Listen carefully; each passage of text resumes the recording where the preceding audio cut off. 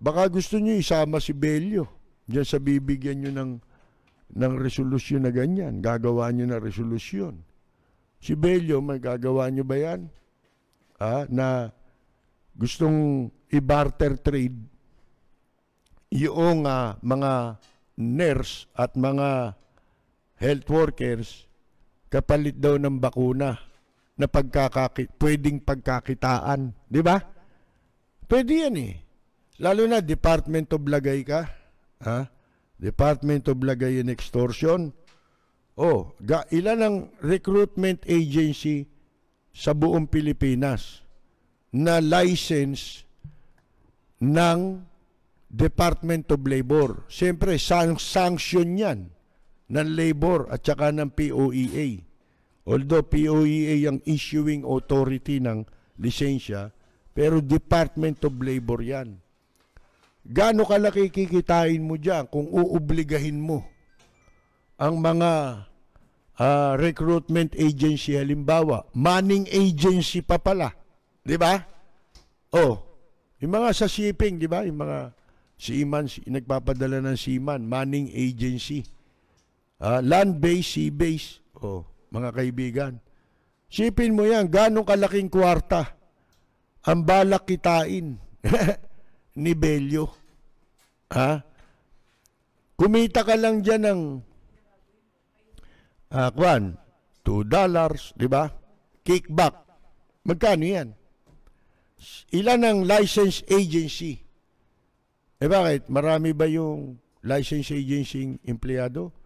Hindi gano, konti lang yan. Yung mga manning agency, mga shipping lines, yan, malalaki yan. Oh. Hindi pa kasali dyan mga mga kumpanyang malalaki, pabrika, ha? Na uh, pwede nilang ika nga eh, ipagduldulan ng bakuna. Makukuha na nila ng libre, maibibenta pa nila. Di ba? Sipin mo yan. O di mas malaki kikitain kung uh, libre nila nakuha, di ba? Mas malaki kita nun. O, obligay mo. Eh kasi, yung bawat license agency, pati nga illegal recruiter eh. Di ba? Dinadagsayan ng mga aplikante, di ba?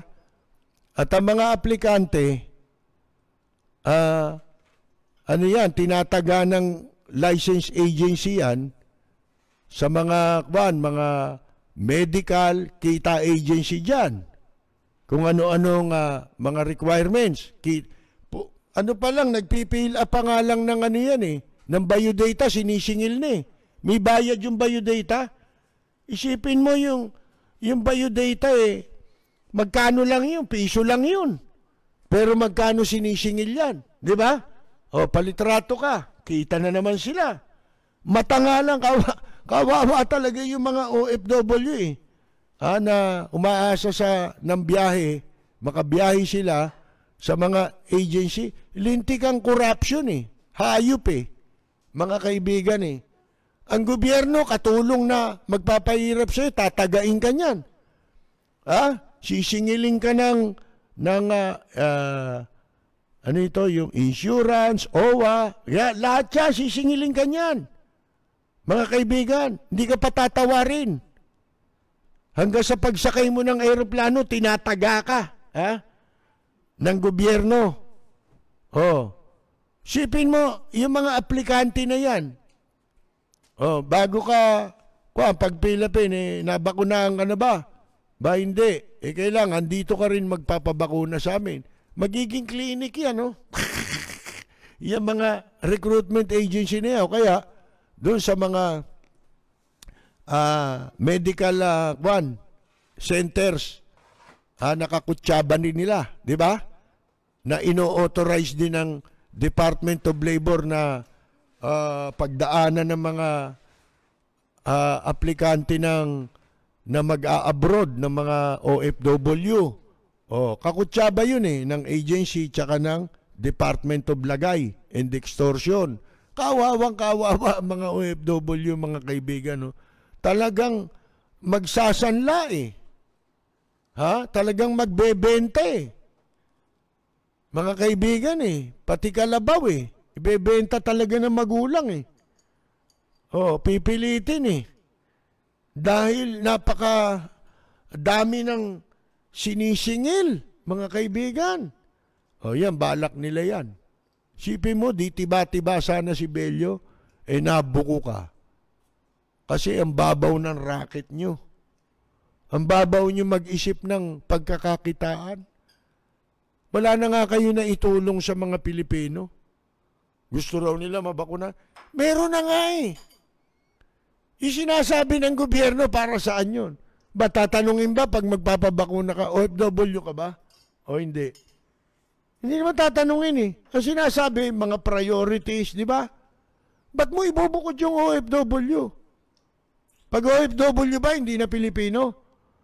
Hayop to mga to. Kung mag-isip, ang babaw. Animal.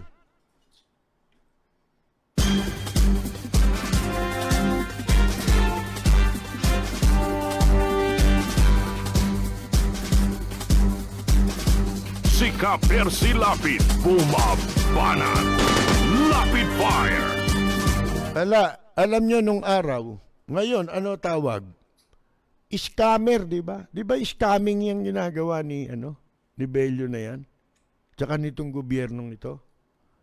Kaya pala, nung, ano pala, nung pagupo niya, ang, kaya pala, ano, ang sabi, change is coming. Ha? Hindi pala ano yung change uh, is coming. Yung pala, change is come. Is coming. Ha? Ayan po, mga kaibigan. Kaya ito nangyari sa atin eh. Puro scammer din ang kasama eh. Di ba? Oh. Manggagancho ng ano eh. Ng tiwala ng publiko eh. Di ba? Oh, ngayon, ang tawag dyan ngayon, di ba, yung mga panloloko, mga ano, puro scam, di ba? O sino pinakamalaking scammer ngayon? Di sila.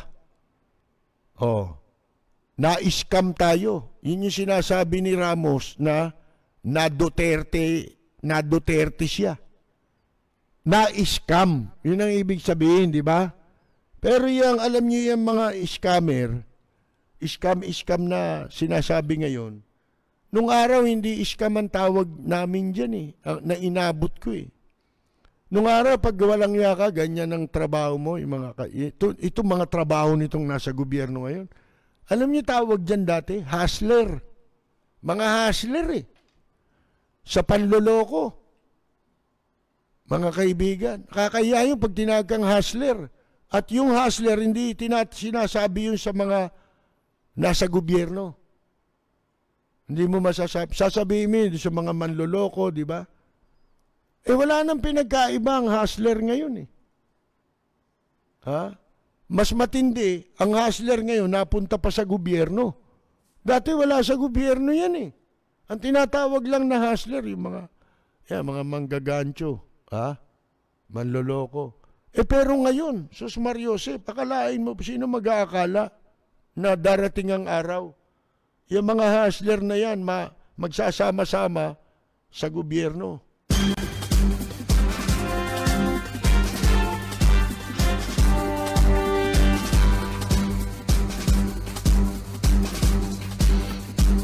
Sika Percy Lapid, bumabanat. Lapid Fire.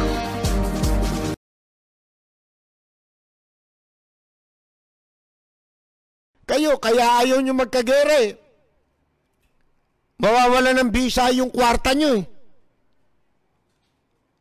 Ha? Di ba? Kung ano man ang nakamal ninyo. Yan, yung mga negosyante. Kita mo sa Korea, uh, merong dalawang malaking negosyante. Hindi pa nakukumpletong basahin. Alam ba ninyo ito, mga multibilyonaryo. Ha? Dahil sa idinulot nitong pandemic na ito, Merong mga negosyante sa mundo na nag-initiate ng uh, uh, advocacy ha? Para yung kalahati ng kanilang mga kayamanan. Total, mayaman sila, hindi man lang mauubos yan eh. Oh. ibibigay nila para itulong ha, sa pagbangon ng mundo, mga kaibigan. Meron ng dalawang Koreano na mayayaman. Ang naglaan na o nag uh, nag-pledge na ha, ng kalahati ng kanilang kayamanan. Marami pa sa ibang mundo may gumagawa ngayon yan. Lahat na, dito ba may narinig kang ganyan? Negosyante? Wala. Matatakaw yan eh. Oh, mga kaibigan. Yan, mamatamisin pa niyan. Karamihan sa may negosyante. Kaysa, uh, kwan, uh, tapusin mo ang kabuktutan kahit sila, pinagmumura na nga sila, di ba? Oh, pambabakal lang pala ang ano nun. Sabi ni uh, Senador Trillanes, talaga namang tumutugma rin sa sinasabi niya. Eh. Di ba? Eh, para ano lang yan eh, kikilan eh, yung mga negosyante. Kaya wala ka na nakikitang kasunod no. May sasampalin pa nga yan, di ba? Si Pangilinan. Oh. Eh nung nagsalita si Pangilinan, lalaban tayo. Takot di sila eh. Tumiklop sila eh. Mga kaibigan eh. Pero wala kang naririnig na mayaman dito. Katulad ng ginagawa ngayon ng mga multibilyonaryo sa iba't ibang bansa. Pinaka-latest sa Korea meron ngayon. Dalawang malalaking uh, mga tao doon. Mga uh, ano, multibilyonaryo. Kalahati ng kanilang kayamanan. Ha? Bibitawan nila. Kasi napakalaki ng uh, kuan ng pinsala sa mundo nitong uh, pandemya, mga kaibigan. Sino ba gumawa niyan? Saan ba nang galing yan? Unang-una, hindi ka dapat, talagang dapat i-boycott ang, ang uh, produkto ng China, yung bakuna. Bakit? Eh para kang loko-loko eh. Sipin mo, binababoy ka, binabastos ka. Eh sa kanila, baliwala eh, sa mga nakaupo eh. Kikita lamang sila eh. Oh, pero wala silang pagpapahalaga sa dignidad ng mga mamamayang Pilipino. Kaya nakita mo si Bello, kung ipangalandakan, oh, bigyan mo akong bakuna, ha? Para Magdagdag ako ng deployment. Nangangako eh. Ikinukompormiso yung mga kwan eh. Iba barter trade. Ano yan? Commodity. Tao yan eh. Oh. Ni, nakakahiya nga sa totoo lang, pagka pinag-usapan ekonomiya natin, ekonomiya ng ibang bansa, nakakahiya. Bakit? Ang ekonomiya natin saan? Bakit ba tayo meron pang tinatawag na ekonomiya dahil sa OFW. Pero nakakaya kung tutusin ninyo pagka nagkaharap-harap, oh, usapan tayo, sige. Ano ba ekonomiya nyo? OFW. Hindi ba nakaba, nakabababa kahit papano ng pagkatao? Di ba? Tinatanggap yan ng mga OFW na sila'y ha, kahit na uh, mga ibang bansa, lalo na yung mga domestic helper, di ba? Oh, nakakahabag-habag eh. Ang larawan ng Pilipino eh. Sa buong mundo. Walang may pagmalaking produkto eh. Pinakamalaking export mo, tao. Negosyo ba yan? Oh. Ito, tapatin ko kayo ha. Kami oh, ang tatay ko nagkaroon ng negosyo ng araw. Isa sa mga kauna-unahang lisensyadong agency na pwedeng mag-deploy sa ng mga uh, workers sa abroad. Pero nag-specialize lang sa entertainers. Isa sa pinakamaraming na ipadalang musician at entertainers. Yung uh, opisina ng tatay ko. Isa sa pioneer license agency sa Pilipinas. Mga kaibigan. Pero nung pumanaw na siya, may naiwan yung lisensya. Eh, nung panahon na naiwan na yung lisensya, hindi na maganda ang takbo ng entertainment. Medyo baboy na. Eh ako eh, bago pa nagkaroon ng lisensya yung tatay ko, nakapunta na ako ng Japan eh. Hindi pa uso ang lisensya. Hindi pa requirement yung dati. Ha? Wala pang lisensya noon. Nakaalis na ako papuntang Japan uh, para magtrabaho bilang entertainer, musician. Oh, mga kaibigan. Di ba? Eh, alam ko eh. Ang sitwasyon noon at nitong mga huli na binababoy na mga entertainer. At nakita natin na ang gobyerno wala nang malasakit sa kapakanan ng mga working entertainers, overseas entertainers. Eh, nawala na rin ako ng interest ha, na ipagpatuloy yung lisensyang yan na makapagpadala. Wala na eh. At saka nagigpit na, di ba? Sa ginawa ni, dahil kay Gloriang Pandak, ha, makapal, na sa ginawa niya, nasira ang uh, entertainer sa Japan. Nung hinihingi ng bansang Amerika ang partisipasyon sa gera ng mga Pilipinong sundalo, hindi niya hindi siya tumugon. Nagpadala siya engineering. Mga kaibigan, yan ang naging dahilan. Punot dulo para matigil, ipatigil ng bansang Hapon ang deployment ng mga entertainer sa Japan. Sabi naman ni OG Wilfred Oberas, meron siyang uh, message dito eh. Babasahin lang natin. Sabi niya, dito sa UK, tumutulong po ang government dito sa mga apektado ng lockdown. Tulad ng binabanggit mong tulong ng Japanese sa mga restaurant, palagi. Dito po may farlo ang government up to 80% ng salary nila na babayaran ng UK government. May parlo, may bayad. Sipin mo, yung parlo, may bayad.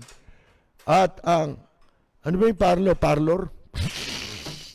Hindi, parang kahit na live ka, di ba? Oh, may bayad yun eh. At ang mga tao may discount sa mga restaurant. Eat out to help out. Oh, ganun din pala ro, no? Dito nagkaroon ba niyan? Still, puro still dito, still as one eh. Mga kaibigan, bayanihan, still as one. It means 50% discount kung kakain ka sa restaurant ng Monday to Thursday. Sa second lockdown, ang parlo ang ipinatutupad ng government para sa mga trabahong apektado ng lockdown. UK government spent billions of pounds to support each citizen and to our uh, one NHS ha uh, na, ano yan yung health service nila no or National Health Services yun to roll out the COVID vaccines since second week of December and to save the British economy. Unlike Philippines, Duterte is only busy attacking his opponents. Oh, diyan sila busy sa pagyayabang, daldal, ala namang nagawa, mulat sa pool. And busy putting up Sarah Starpolin all over the country instead of vaccines. Yon. Nakita na ninyo, mga kaibigan?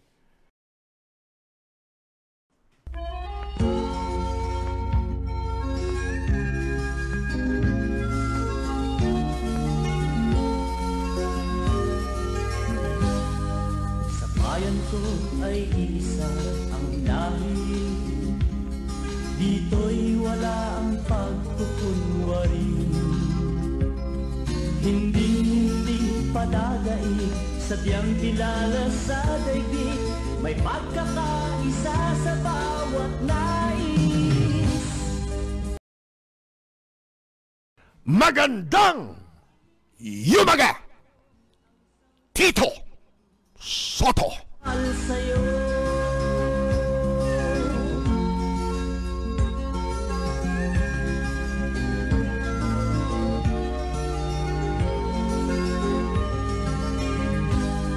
Ang bayan ko'y punong-puno ng yaman